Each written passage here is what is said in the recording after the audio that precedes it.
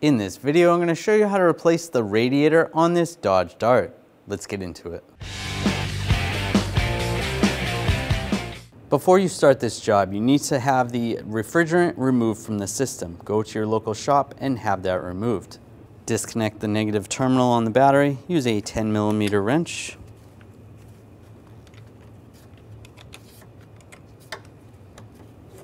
Slide that off. Take this cover off. I'm just going to use a trim tool. Take the push pins out.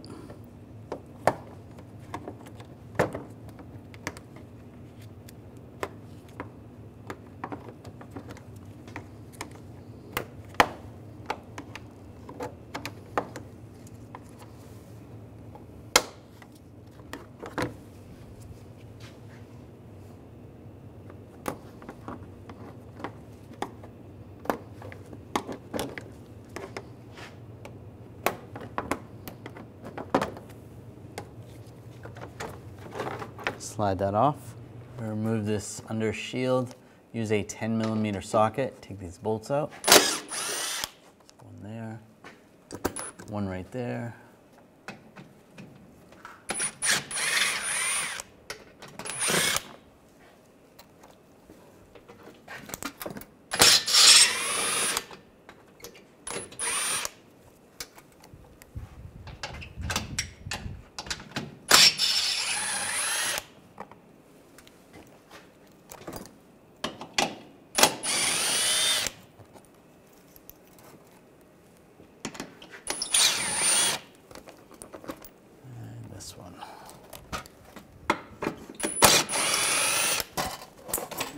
Slide that down. Underneath on the side of the radiator, there's a drain. We're gonna use a drain bucket. You wanna open this up. Make sure the engine's not hot when you're doing this. I'm just gonna use some pliers just to loosen it up a little bit, but be careful. Just wiggle that out. There you go, let that drain. After it's done draining, you wanna push this in twist it to the right. Just be careful if you're tightening it with pliers, you don't want to crack it. And that's good, that's closed. The O2 sensor is clipped into the radiator fan support. You want to take that wire off, just unclip it, set that aside. Disconnect the upper radiator hose. I'm going to use an 8 millimeter socket, loosen up the worm clamp. Slide that to the side. Just grab the hose. Slides out. And just move that over. See where the fan is connected. Disconnect the electrical connector. Just push down on the tab slide that off and follow that wire. There is some retainers holding that on. Just use a trim tool.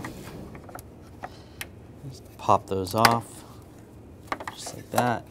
There's another one down below. That looks good. Using an 8 millimeter socket. There's a screw right here. Take that screw out. Then you're gonna have one on the other side as well.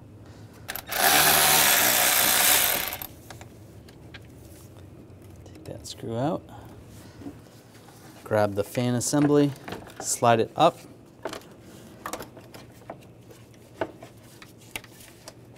Make sure the wires are out of the way.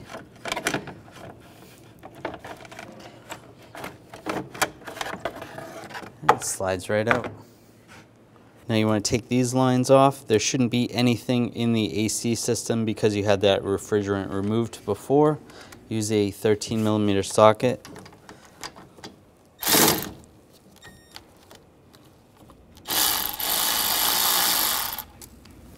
Slide this out. Sometimes you hear a little bit of hissing and that's because there's a vacuum on the system.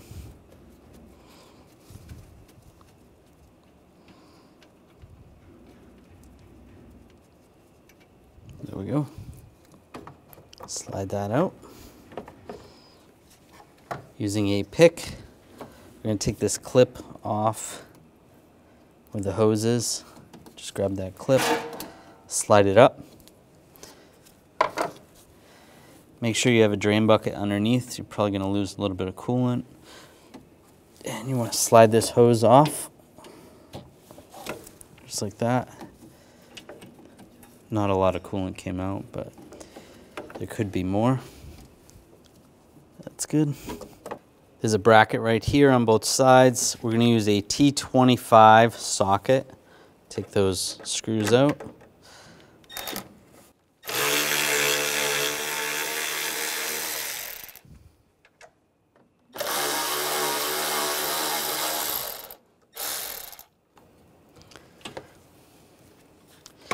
those screws out. There's just a little bracket right here that just slides out.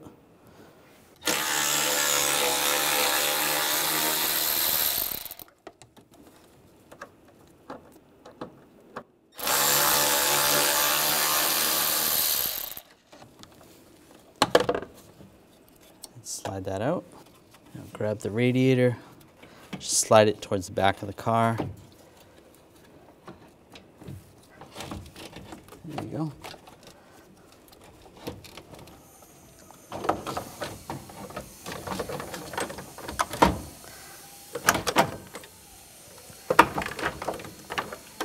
And just wiggle it out.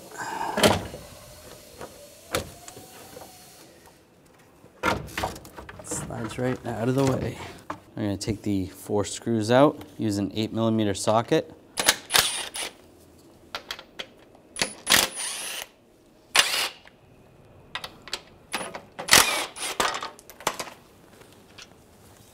Let's slide those out. Grab the condenser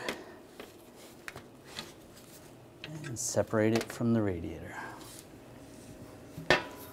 We're going to take these side grommets off. I'm just going to use a straight blade screwdriver. Just get on the side of this.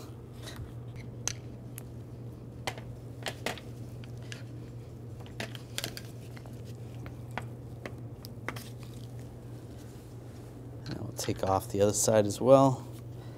Just pry them off two screwdrivers works best. Straight blade. The new radiator, we'll slide these on. The same on this side. There we go.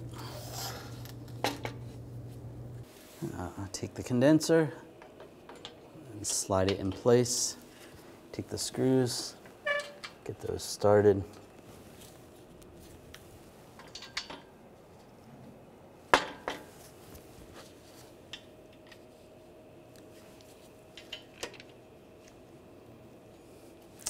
And we'll tighten those down.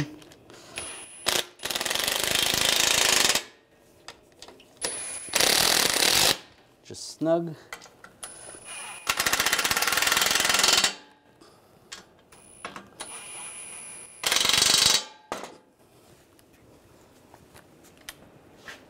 Slide it back in.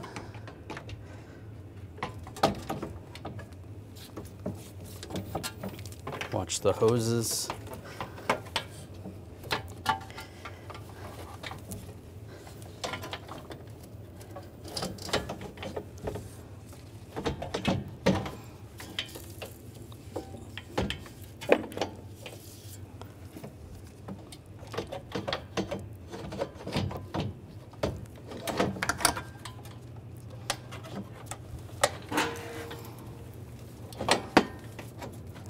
and get the lined up.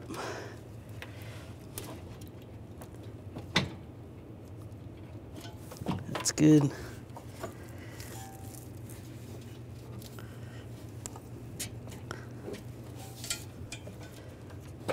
Push that down and slide the radiator back.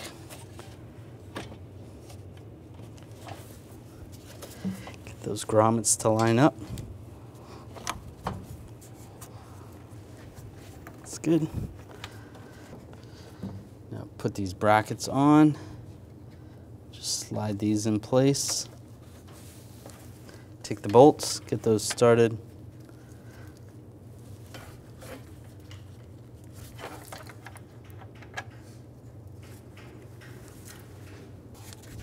We'll tighten these down.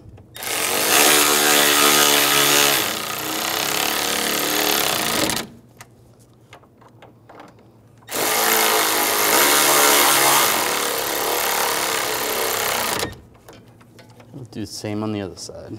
Slide that on, put these bolts in.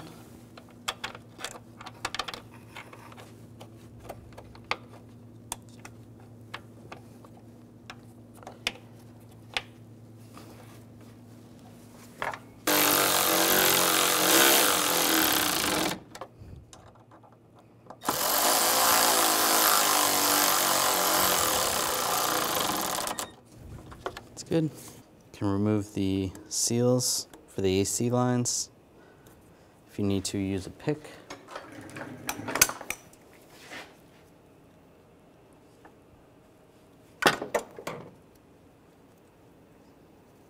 Slide that off.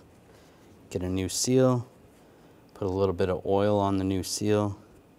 Slide the seal on. You can do the same on the other one. Right there. Take the lines, line those up with the condenser. Slide those in position.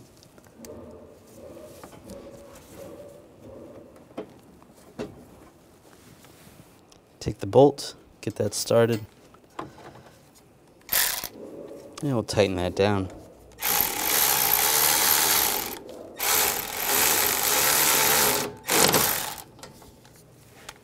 And make sure that's snug. It's good. Take the hose down below. You need to reposition the clip, push it down, slide it over the radiator, lock it down. Take the fan assembly, slide it down.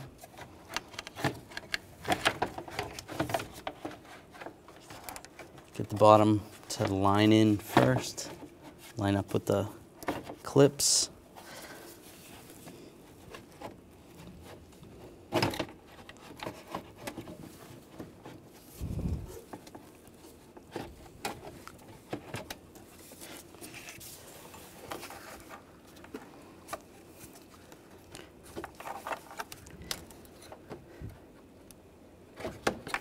There we go. It's lined up. Take the two screws, get those started on both sides. And we'll tighten those down.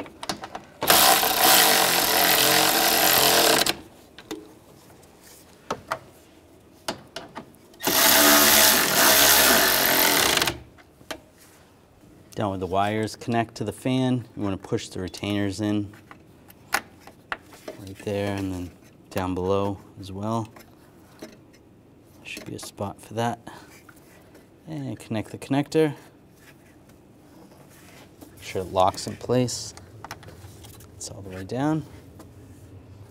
And take the hose, line it up, slide that in place. We'll tighten down the worm clamp.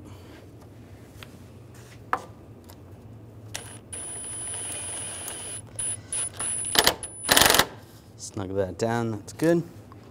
Take the O2 sensor wire, push that in the clips, just like that. Take this cover, line that up, and push all the push pins in.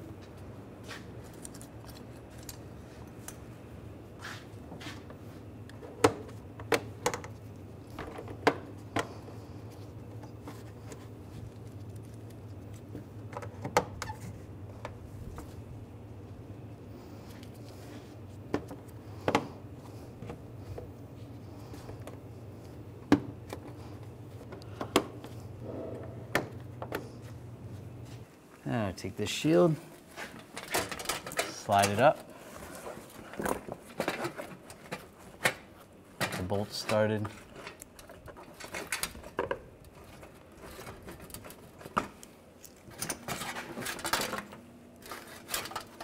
Should be a hole somewhere right there.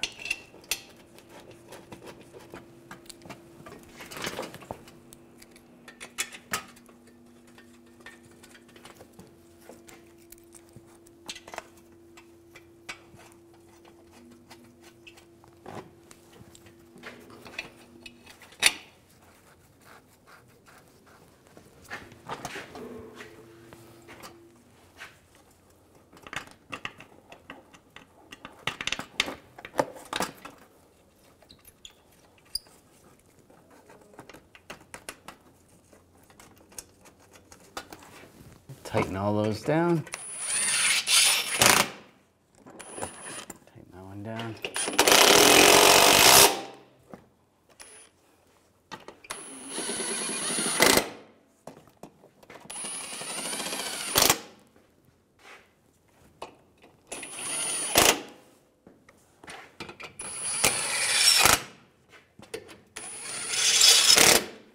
Connect the negative terminal on the battery.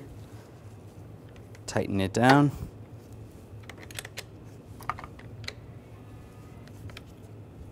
That's snug. Give it a wiggle. Make sure it's tight. Now you want to top off with the appropriate coolant. You want to double check your owner's manual. And fill up the reservoir.